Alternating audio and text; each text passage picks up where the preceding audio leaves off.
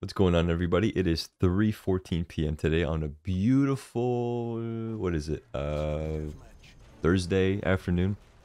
Making this video because I am going to go to work soon in like 15 minutes, and I'm gonna have to start driving.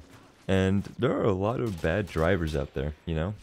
I've heard somewhere on the internet that the best way to drive on the road is to pretend that everyone is clinically insane but you. Sometimes I catch myself doom scrolling on Instagram reels and I'm watching these like car accidents happen because either one of the drivers are insanely stupid or both of them are just insanely stupid and it's hard to tell who's at fault.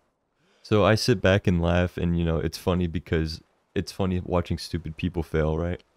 But at the same time, it could also happen to me one day.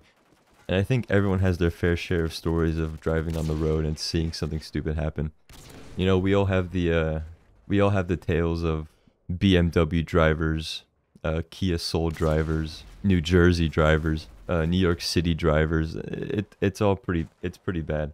I guess you can call them like driving stereotypes. Every time I see one of those vehicles on the road, I either um, yield to them so they can just leave me alone, or I just hope that nothing happens to me, you know? I've seen crazy things where like um they're driving like 35 or 40 over the speed limit. They're swerving into uh, different lanes without using their blinkers, uh, squeezing between gaps that shouldn't be humanly possible.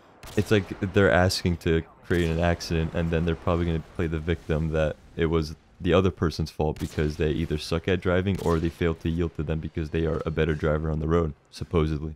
Another thing I want to talk about is those lifted Dodge Ram drivers, you know, the the heavy duty, super duty pickup trucks with the uh, the eight LED beams of light that shine into your eyes like the sun of Ra. The beams of light that directly point into your eyeball so it permanently blinds you. I don't understand why they have the need to drive those kind of vehicles. It's like they're trying to compensate for something. Uh, never mind, never mind. We love we love pickup trucks, especially in our area. You know, they they plow the the snow on the roads, and for my two wheel drive Ah. looking ass, I need I need their help because I would not survive on the road during the wintertime. If there are any honorable mentions you'd like to mention, please let me know. I would love to read them. Uh, or I should say temporarily blind you because you have to get off their line of sight as fast as possible. This is going to be a short one. Uh, I'm going to mention some things from the previous video. I am a-okay. Uh, do not worry. Life is worth living, alright? I cherish every moment. I also read every single comment from the last video, and I appreciate you guys sharing. It's pretty awesome. I love when I receive human engagement uh, through social media because, you know, I'm a loner. No friends, you know? I'm just kidding with that too. Hope everyone has a great day, and uh, I'll see you next time. Toodles.